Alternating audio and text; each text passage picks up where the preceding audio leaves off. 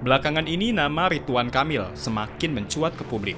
Ia menjadi sorotan netizen karena masjid yang dibangunnya, yaitu Masjid Al-Jabar. Masjid Al-Jabar merupakan masjid raya Provinsi Jawa Barat yang diresmikan pada 30 Desember 2022 lalu. Masjid ini dibangun di atas lahan seluas 25 hektar. Pembangunan masjid ini diketahui memakan waktu selama tujuh tahun dan berlokasi di Kecamatan Gedebage, Kabupaten Bandung. Sejak awal peresmiannya, masjid ini menjadi sorotan karena arsitekturnya yang unik dan megah. Masjid ini tidak hanya dibangun untuk ibadah, namun juga sebagai tujuan wisata religi di kota Bandung. Masjid ini pun dilengkapi oleh sejumlah fasilitas yang tidak dimiliki oleh masjid pada umumnya, mulai dari penginapan, ruang belajar, ruang seminar, hingga tempat pelatihan khusus yang dikelola langsung oleh pemerintah Kota Bandung. Keunikan masjid ini dikenal karena ukurannya 99 kali 99 meter yang disebut melambangkan Asmaul Husna. Interior dalamnya memiliki empat tower yang tiga di antaranya memiliki tinggi 33 meter melambangkan rangkaian wirid.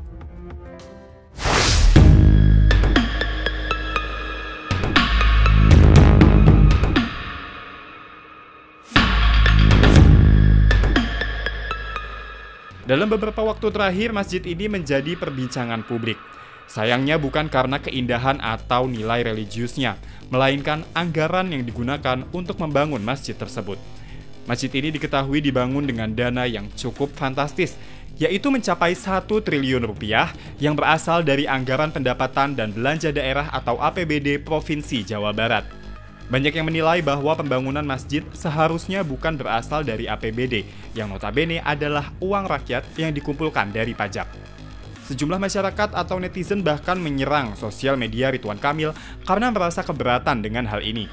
Tidak sedikit masyarakat menyuarakan bahwa mereka ingin membayar pajak untuk negara, bukan untuk memberikan sedekah demi pembangunan tempat ibadah. Meskipun belum ada aturan yang melarang penggunaan APBD untuk membangun tempat ibadah, namun masyarakat merasa banyak fasilitas publik lain yang perlu diperhatikan, seperti transportasi publik atau infrastruktur yang lebih dibutuhkan masyarakat.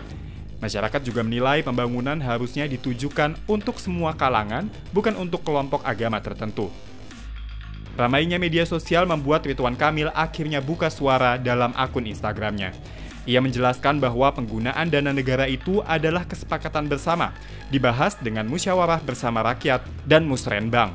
Kita hidup di bawah sistem demokrasi di mana rakyat bisa menitipkan aspirasi melalui Pemda atau sistem perwakilan baik itu DPR maupun DPRD. Pembangunan mulai dari masjid, gereja, pura, dan tempat ibadah lainnya bisa dibiayai negara selama itu disepakati eksekutif dan legislatif.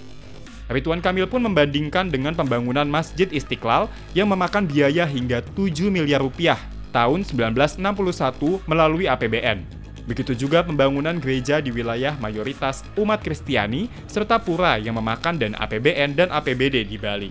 Pria yang disapa Kang Emil itu menambahkan jutaan warga Jawa Barat melalui Ormas Islam menitipkan aspirasi rakyat untuk membangun Masjid Raya Provinsi sejak tujuh tahun lalu. Selama ini Masjid Raya Provinsi Jawa Barat mengkudeta Masjid Agung Kota Bandung. Ia meminta masyarakat jangan mudah terpancing emosi dan berpikir jernih.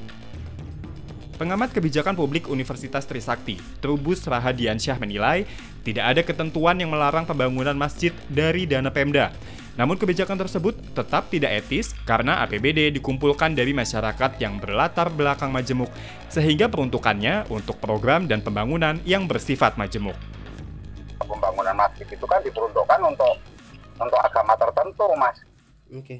Jadi apalagi itu menggunakan dana APBE, APBD gitu. APBD itu kan sumbernya dari dari masyarakat, Mas, dari publik yeah. kan gitu.